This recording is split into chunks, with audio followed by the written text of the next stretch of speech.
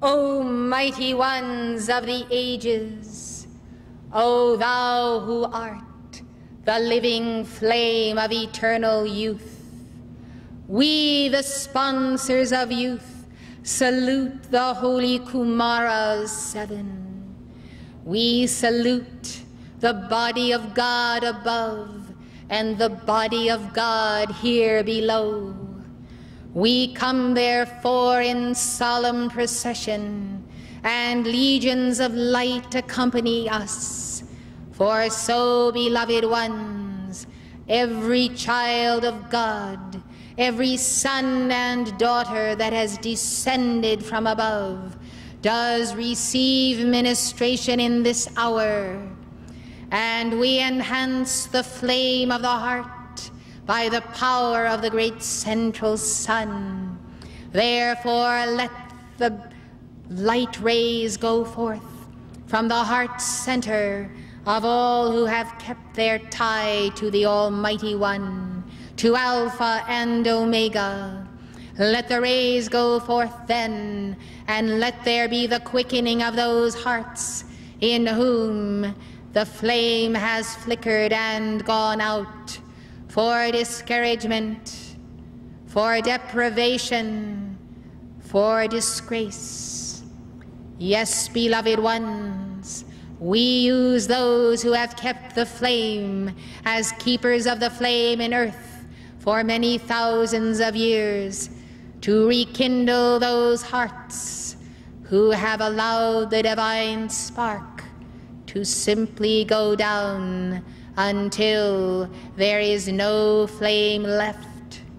Beloved ones, we are in solemn convocation with many among the hosts of the Lord, and we bow to the flame within you and express gratitude for your presence here for you have moved yourselves, bestirred yourselves from the many demands that life places upon you, to come apart and to hear from the youth a lecture on the youth of the world and America. Blessed ones, the subjects touched on this evening weigh upon the heart of the Divine Mother. I will tell you just how dire the situation is, for I speak for us all. And I say, beloved, this is the warfare of the Spirit, and the fallen angels have determined to so sever one generation from the next, that inside of a hundred years this earth may de-evolve to such a lesser state as such that you could not even recognize such a transformation. Yes, beloved ones, this is on the agenda of the fallen ones, whose time is very, very short. Therefore we say to you, hurry, hurry, hurry, hurry, hurry. Did you not hear these words spoken in the music played to you? It says, hurry, hurry, hurry, before it is too late. Hurry then to resolve your own psychology, your own stopping places on the levels of time and space where you yourselves may have been bruised and battered as children or in previous embodiments. You think you have bruises. You think you have been battered. I tell you, beloved ones, it cannot possibly be to the extent that has occurred to this generation. These children in the earth, whether they have retained the flame or not, are being set upon by such darkness in so many subtle ways, none, of course, more deadly than the rhythm of the music of hell itself, than the drugs pervade, than the sugar saturating the brain, the heart, and even affecting the concentration of light in the spiritual chakras. Beloved ones, your aches and pains are minor in comparison to those who cry out to you.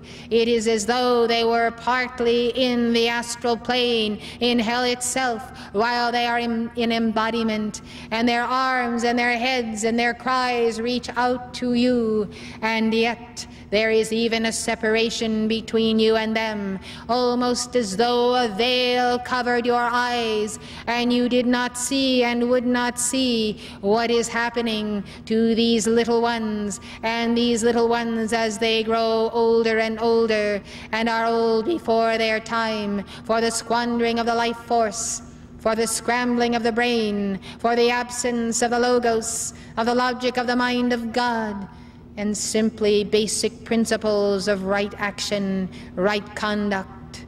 Oh, blessed hearts, where do you begin? You begin where you always begin. You begin at the altar of God, and you begin with the absolute conviction that the all power of God is able to manifest through you.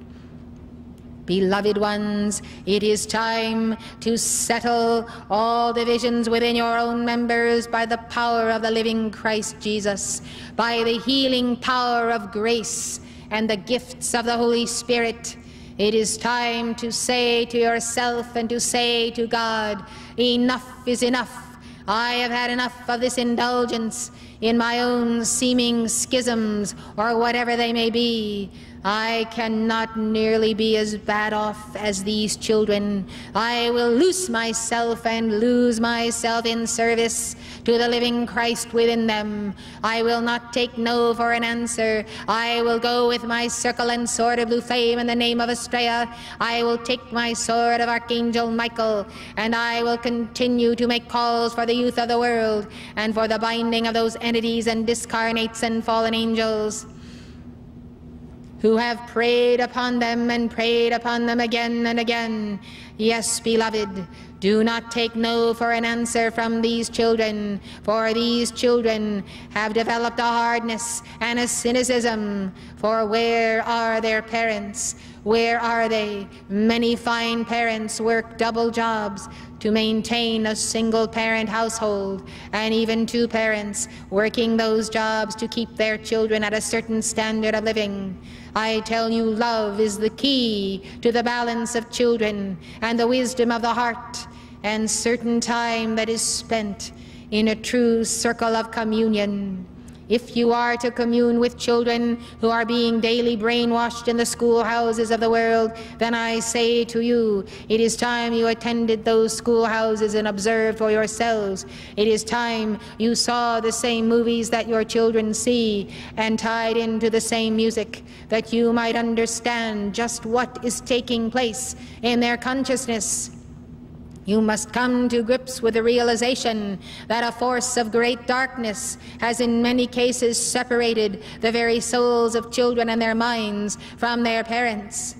Thus you must take your stand, and you must see to it that above all, you get the course that is given by those who are teachers at Summit University in Montana, the weekend course whereby you can learn to teach your children how to read by the Spalding method, phonetically. This is an absolute must, beloved ones, and you must welcome children of all ages into your home and give them this training and liberate them from the very depression that causes them to remain depressed and out of the mainstream of life for this entire embodiment. And then what beyond? I ask you, beloved ones, to teach children the reading, the writing, and the arithmetic before the age of seven is the solemn responsibility of every single person who calls himself a light bearer in the earth every single one of you who is walking toward the sun and intends to attain union with God. You will not be received into that union if you leave these little ones. You must save the children. You must save their minds. And you must know that you cannot do it alone and that your daily presence at your altar is a must whereby we shall speak through you, work through you, and you must call to Astraea to keep the youth of the world encircled by the mighty circle and sword of blue flame. Let the decree sessions, therefore, of this entire autumn conference here in Atlanta be signaled by the prayers for the youth of the world. It must be done, beloved ones, for the force itself has kept you from your absolute concentration upon this very subject, the most vital, the most vital, I tell you, in all the earth. For these are the generation of tomorrow. These are today's leaders and tomorrow's leaders. Blessed hearts, how can you bequeath a nation, much less your own organization, your churches and your schools to a generation who not only cannot read, but they do not even see the necessity of reading when they have computers that can do their spelling for them? I tell you, the alphabet is indeed a manifestation of the light of Alpha and Omega. They ought to know the Hebrew alphabet as well, that they might understand the Sefirot, that they might understand the principles of the 22 letters. Yes, beloved hearts, the power of 33 is present. Thus know, and know it well, that you must be able to teach not only reading by the phonics method, but basic arithmetic and writing. Reading, writing, and arithmetic must be solidly in the hand and the heart and the mind of those children entrusted to your care, those in your neighborhoods, all whom you can reach, so that by the time they get into a public school, they are not going to be traduced by those teachers and those systems that will not say die. I am authorizing you in the name of Almighty God in this conference to learn how to invoke the judgment of the Lord and Savior Jesus Christ who did say, Whoever shall hurt one of these little ones, it would be better for him that, he, that a millstone were hung about his neck and he were cast into the sea. I tell you, it is time to call the judgment upon the entire system of education in this nation and beyond as it influences the educators of the world. But many nations are far too smart and have not allowed their systems to so degenerate. I tell you, death and hell, stalk the classrooms of America. Are you going to stand for it any longer, children of the light? No. Well, then I say you must do something about it. You must not forget this night. You must not fail to respond to the heart of the sun. You may be sickened, you may be faint, you may be weary from the battle, but you must keep on with the battle. Remember to invoke your tube of light. Remember to call for the roaring violet flame in the center and the cylinder of blue flame. Remember to have your physical swords unto Archangel Michael and to call for the cutting free of the youth of the world daily. You can plaster the walls in your homes with pictures of children from all over America, and you can use these pictures of children photographs and posters and whatever you can find in magazines. And you can wield that sword of Archangel Michael, cutting around them and asking for millions of children to be cut free. And while you are at it, beloved ones, you might as well keep a picture of aborted fetuses also to remind you every day of your life that children are being aborted, children whom we are sending from the central sun, who never make it into the kindergarten, who never make it into your play schools, for they are being aborted let them be cut free in the etheric octave and the astral plane. Let them be cut free of all those scars that are upon them for having gone through such a grave trauma as being murdered in their mother's wombs. Beloved ones, it is well to remember. How can anyone fail to remember? Well, you see to it that you do not by keeping those pictures in front of you. I tell you, beloved ones, let not a day pass that you do not stand with the world mother and with a mother of the flame to exorcise the planet of those forces of death and hell. You think that the ride of the fourth horseman, the pale horse, is coming sometime in the future. I tell you, the pale horse has been riding through America up and down and bringing the karma upon the parents, upon the children, to the third and fourth and tenth and fortieth and fiftieth generations, all the way back to the times of Atlantis. Yes, beloved ones, the karma does come tumbling down, but there is also a mighty tree of life, and the fruits thereof shall be for the healing of the nations, for the healing of the youth of the world, for the healing of the children. Therefore, teach them. Who will teach the children? Raise your hands, beloved ones. Who will teach the children? Go out and find them. Make room for them in your homes. Offer to teach them in any place, in any situation that their parents will allow. I tell you, there shall be many, many blessings upon those who have the courage to teach the children to read and write, to teach the children to calculate their numbers. Oh, beloved hearts, what a gift you give to children when you give them their independence, which is a manifestation of the mighty threefold flame of life. And so, beloved ones, in order to read, they then, therefore, by so receiving that reading lesson from you, can begin to expand the yellow plume of mighty wisdom, which is wise dominion, for they shall become wise and erudite and enlightened, because you shall not only teach them to read, but also provide them with the necessary books that they must have to move on in life and to help other children out of the quicksand of the educational system. Beloved ones, the power of mathematics is the power of the Word with God in the beginning. It is the great power, it is the great action, truly of the will of God. It is the ordering of life. It is the very foundations of the geometry of being. Therefore, let the blue ray go forth, and let the power of mathematics be manifest, and let not one child that you know, and many children that you may meet, be left without the four blocks of manifestation that he must have in the geometry of life truly addition, subtraction, multiplication, and division.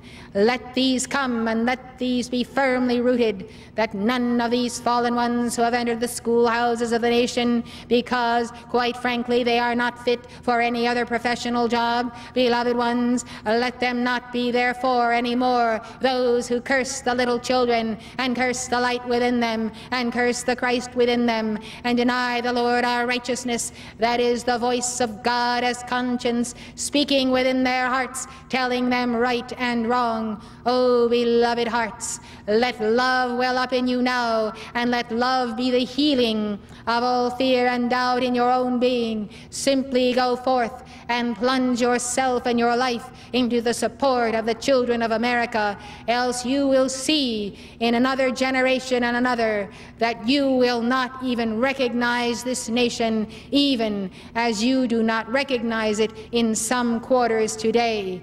Blessed hearts, this is the most serious message you will ever hear from the ascended masters, for it is the message of the loss of this nation and ultimately other nations in the earth. If you do not act and act in time. I tell you, beloved hearts, let the children learn to write by love. Let them learn to print. Let them learn cursive writing. Let them learn their spelling. Let them learn how to write a poem. Let them learn how to write a story and how to bring forth from their hearts what they are feeling, whether it is pain or bliss. Therefore, let them also learn by love art as the creative flow from their hearts and through art let them express themselves and get out on paper what they are suffering from within. Thus, beloved, you will see that children will rise up and call you blessed for many generations to come. Understand, beloved, that this is a fierce battle. And somehow or another, the good people of the nation in many quarters have simply separated themselves from the youth of the world because they fear the blasphemy of the demons that are surrounding and imprisoning children, and therefore children become the mouthpiece of evil spirits, and parents are not able to deal with it and some are afraid as these children become teenagers and they begin to feel the darkness that is around them. And instead uh, of doing the work that you have been taught by the archangels and the ascended masters at your altar, instead of loving those children and disciplining them by love and giving them a cause for living, they and you retreat. You retreat from them, and this is the very plot of the sinister force. No matter how bad may be that which comes out of their mouth, beloved ones. God in you is greater, God in them is greater. You must pray and pray and pray on your knees if you must. Pray to the Immaculate Heart of Mary. Give your rosaries, calls to Archangel Michael and all the hosts of heaven, but do not give up. Do not give up. Do not give up, we say.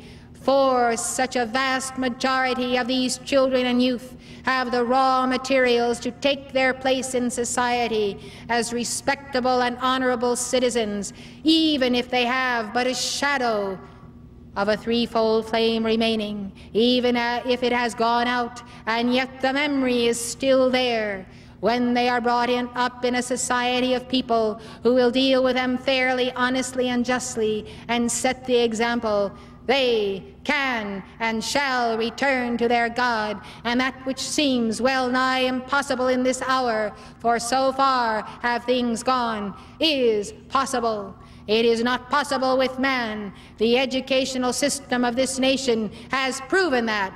Nothing is possible with that system. But without that system and the real system of the great Logos with God in the beginning, all things are possible, even the turning around of this generation.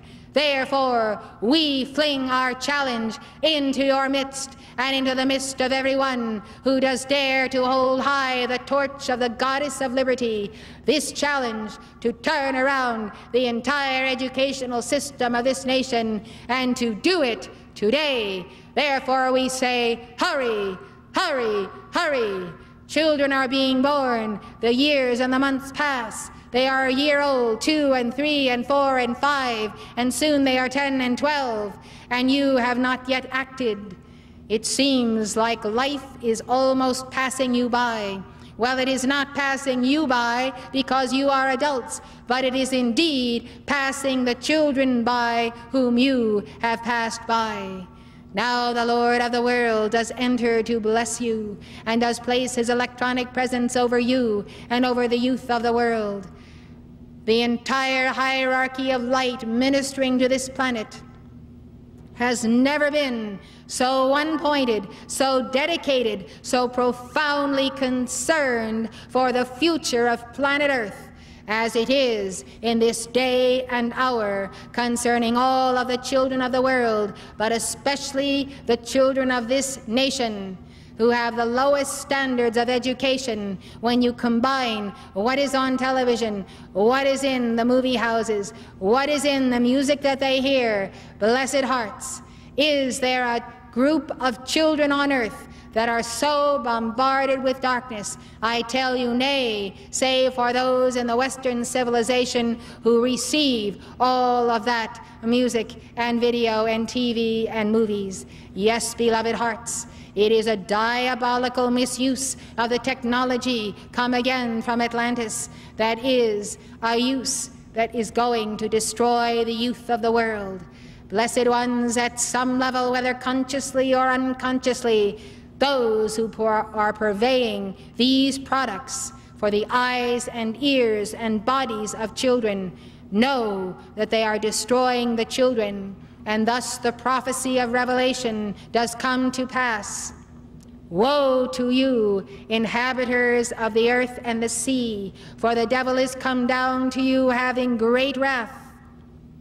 And this devil, beloved, this seed of the fallen angels, does go forth to make war against the seed of the Divine Mother. And the seed of the Divine Mother is the seed of Christ. And the seed of Christ is in every child and son and daughter of God.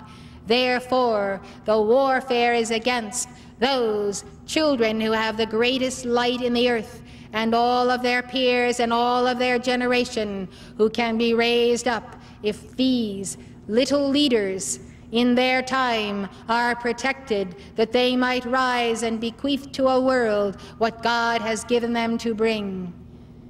I pray, God, in you. I pray for your calls that this abortion will be stopped and that the light bearers destined to embody will not only be allowed to embody, but will receive the tutoring from your hearts. Blessed ones, you may laugh in your joy, You may have good times, but not fully. Not ultimately, not all, can you abandon yourself to the happiness of days and golden days ahead. For each of your days must yet be tinged with a deep soul and heart awareness of the abortion of souls, of light, and all, all souls. For children who are missing out in their sensitive periods when they should be learning to read and write and have the joy of envisioning a universe of numbers and of geometry. O oh, blessed hearts, it is good to allow yourself to sense the world pain, especially the pain of children. Knowing this, you cannot quite fill your cup of joy to the fullest. Remember the children. Remember the children, for not so long ago you were a child, and you had at least some nurturing and some foundation of an education. Remember, remember the children, for in the not too distant future, you may be a child again, re embodying, and you shall reap as a child the karma you incurred in your last life, this life, for having ignored so great an opportunity and so great a salvation that you could have given to the little children. It is a most serious hour in Earth's history, for the fallen angels have determined that if they will be bound and taken for their judgment in this decade and coming decades, they will leave a scorched earth. They will leave children who have been so scrambled in their minds, so confused, so turned around, that they will not be able to rise and claim the earth for freedom. Yes, beloved ones, this is the plot of the fallen angels. Thank God you have completed certain labors recently. Your labors must begin again and begin at the very core of Antichrist. Remember the slaughtering of the male babies. Remember of the intense effort to snuff out the light of even Lord Krishna when he was born. Yes, beloved hearts, the forces of Antichrist go after the children. Now you must go after the enemies of children. We charge you from the great central sun, and we charge you in the earth. We, the sponsors of youth, from out the great central sun, cannot leave this earth, and we shall go in to the astral plane, where on physical earth in embodiment and out of embodiment, the children of the light have been imprisoned by fallen angels. O oh, blessed hearts, I wish to assure you that every call you make is answered. Only keep a regular rhythmic cycle, a ritual of prayers to the heart of the Divine Mother and the Immaculate Heart of Mary, to all hosts of the Lord that you can name. Keep that prayer vigil. Turn off your own TV sets. Deny yourselves a number of programs. Keep abreast of the news. But set aside that time for the children. We have called you, and our call reaches back to the heart of the great central sun and is mirrored again into your heart and soul and mind. Remember that it is possible it is entirely possible for the entire scene to change. I must say that every keeper of the flame, the mother of the flame, every individual who is acquainted with the science of the spoken word must stand up and be counted in this hour for the youth of the world. Blessed ones, I assign you to read again the entire book of the science of the spoken word by these messengers as a prerequisite for this conference and for your teaching the children. You will refresh your minds in many points of the law, and you will understand why the spoken word is the power of prayer and the only effective power of prayer that will cut through for the exorcism. And yes, I have said the exorcism of the schoolhouses, colleges, universities of America. Thus, beloved ones, be empowered and learn your lessons swiftly, for a world is waiting for your response. I salute you in the name of Alpha and Omega, the goddess of liberty and the lords of karma. Go for it, ye sons and daughters of liberty. We are with you, and we will do it. Will you? Yes.